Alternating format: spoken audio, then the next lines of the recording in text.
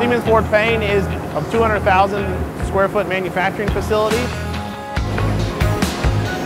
We're located in Northeast Alabama, and we are the Americas Region Center for Electrical Components for Siemens Energy. We mainly have two different types of business. We have the new apparatus business, uh, which um, we manufacture parts and components for new generators that are manufactured and assembled in our facility in Charlotte, North Carolina.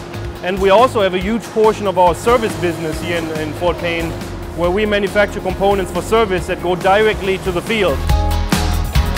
Siemens Energy components from this facility, they're shipped all over the world. We basically are divided into five COCs. The first COC is rotor coils. They're going to take straight copper, they're going to mill vent slots in it. They'll then form it so it's ready to go in the rotor and then ship it on to the Charlotte to be wound into a rotor.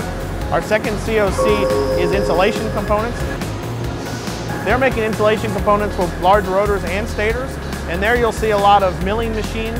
You'll see a lot of specialized cutting machines that looks very simple, but each of those parts is specifically designed for a purpose.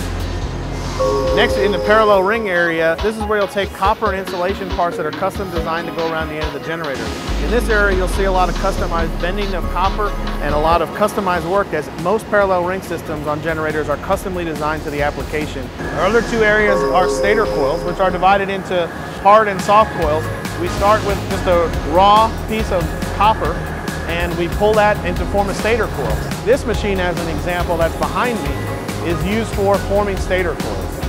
What they do is they take a straight stator coil and they'll actually make all the bends and, and actually assume the shape of the coil in the generator. The last thing is the VPI process. That's where we impregnate the coils with resin and harden the insulation system that's on them. Since 2009, Siemens has invested over 12 million US dollars in this facility. With the automation equipment we bought, we are actually very cost competitive here in, in the US, in Alabama, with a very highly skilled workforce.